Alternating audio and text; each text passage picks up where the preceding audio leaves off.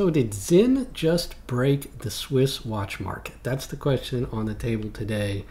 I saw while scrolling through the uh, while scrolling through Reddit, as I like to do through the watches, that uh, people were talking about the new Sinn 903. And if you scroll through their laundry list of releases, all of which are incredible, you will find these new releases that just came out here in May of 2024. See, they start right here. The Sinn 903 is their version of the Breitling Navitimer that they introduced after buying the rights to make it back in 1979 from Breitling when it was owned by Willie Breitling uh, at the time, the kind of successor to the founder there uh, of Breitling, in, the Breitling company itself. And Breitling was going through some struggles with the quartz crisis, needed to raise some cash, sold the rights, sold some of the parts and equipment to Sinn to make their own version of the nine, of the Navitimer. They came out with the 903. Uh, recent versions of the 903 have had a interior rotating bezel and that extra crown at 10 o'clock to actuate that bezel and that extra crown just really ruins the symmetry for me and i'm so glad that they're getting rid of it now in this new version of the 903 they discontinued the 903 a couple years ago.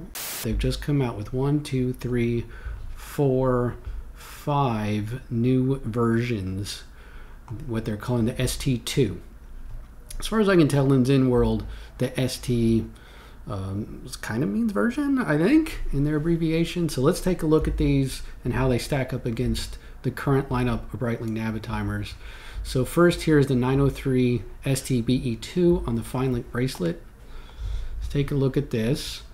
And it is, all of these are 41 millimeters in diameter, which is the same as my vintage, or sort of vintage, about 20 year old uh, Breitling Navitimer. I'll put some pictures of that up. And this is visually very similar to the Navitimer with, let me get mine out over here, with the stick hands and the red tip on the chronograph hand and the various scales that are used. No push down or no uh, screw down pushers that are used. The shape of the crown, the knurling on the crown, the recessed registers, the uh, triple registers, the layout, all just basically identical to the, the Navitimer. The bracelet is similar, but it doesn't have the angles on the links that's so distinctly Breitling. Let's take a look at some of these other pictures here. That's the lume. So generous amount of lume, supernova on the indices and the hands. Nothing on the chronograph hand or that outer bezel. May, I would have thought about using. Uh, there's an angle shot showing this uh, dome sapphire, some of the finishing. Very nice. If you've never held a Sinn, the build quality is just phenomenal. Uh, absolutely rivals anything made by the Swiss. Here you see the column wheel on the movement, which is not in-house. It's a third-party La Joux Swiss movement. Um, so you're saving some money there over the Breitling Navitimer. First of all, you're saving some money just on the brand. And then you're saving money on the movement because the new Navitimers use their BO1 movement, which is made in co cooperation with some of the other Swiss brands like Tudor. Also uses that movement, which are great movements, METAS certified, column wheel chronographs. Uh, but this is also a column wheel. It's going to have that nice, snappy, immediate action good amount of finishing and not quite as nice. The rotor is definitely not as nice as what's used on those BO1 movements, but still a really pretty view there from the back. Notably, that's 20 bar, so that's 200 meters of water resistance, which is the biggest technical improvement over even what Breitling produces today. The Navitimers are 3 bar, that's 30 meters. That's barely enough confidence for you to take this watch with you uh, splashing around in any kind of water. Definitely would not want to take a regular Navitimer swimming or anything. But this from Sinn, with 200 meters of water resistance, you could go swimming in it, you could wear it in the shower, you could wear it anywhere and not be worried about any kind of water. So big, big benefit here to the Sinn over even the modern Breitling Navitimers. Chunky at uh, over 14 millimeters thick, but that kind of comes with the territory with these uh, mechanical chronographs. They all tend to be pretty thick. So 14 and a half millimeters thick, 22 millimeter lugs. That's all pretty standard. 88 grams. It's not too heavy. Of course, stainless steel, sapphire.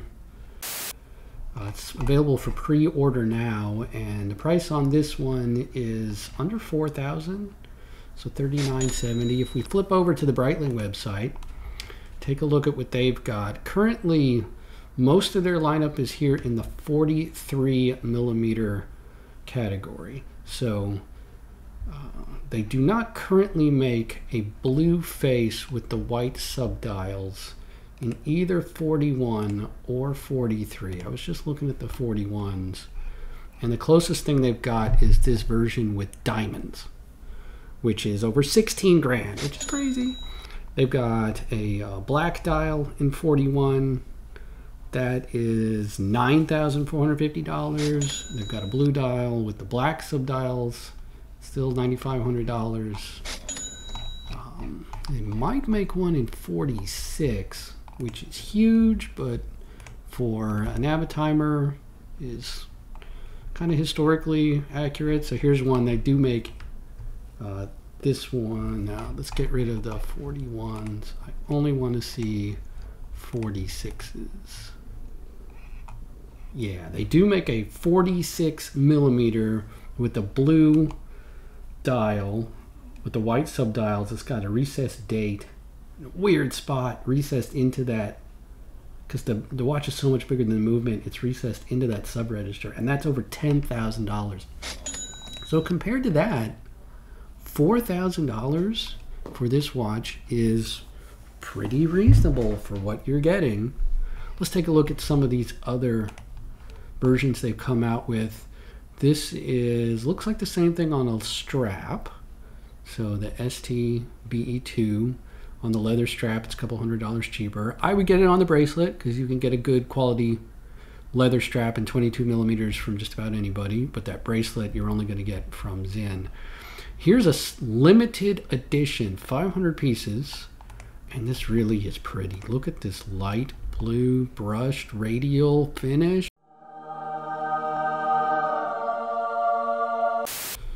Not quite as legible because you don't really get a whole lot of contrast from the hands, but that sure is a pretty dial. Wow, look at that. Same kind of, oh, blue. That blue lume really does stand out on that shot. So, okay, down here, 4170, so a couple hundred dollars more if that light blue is your fancy. That's really pretty. Uh, here's a black dial version, same price as the blue dial basically. 39.70, yeah, same price. And the black dial is going to be the most legible. My Navitimer is a black dial, and I absolutely love it. I don't wear it enough. Um, and not really cuff friendly because it is thick. It's roughly the same thick, around 14 millimeters. But I absolutely love my Navitimer.